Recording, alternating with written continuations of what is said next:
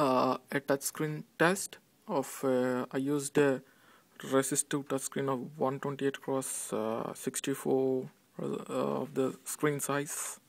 And this is a multimeter where I sense the touch. I mean when we touch there will be variable in the voltage and I sense through here in it.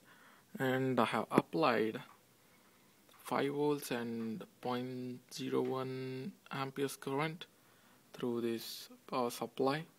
And and the observation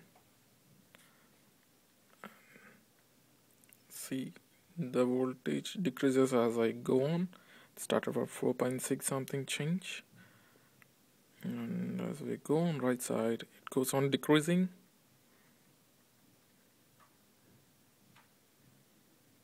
decreasing till here. Yep.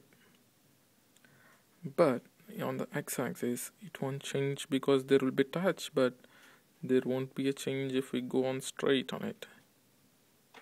Because the voltage drop it's changing because my hand is varying. See 2.6 some change. Because I change like this it changes. But here it, if we go on x-axis it won't change this is a resistor touchscreen 4 wired resistor touchscreen test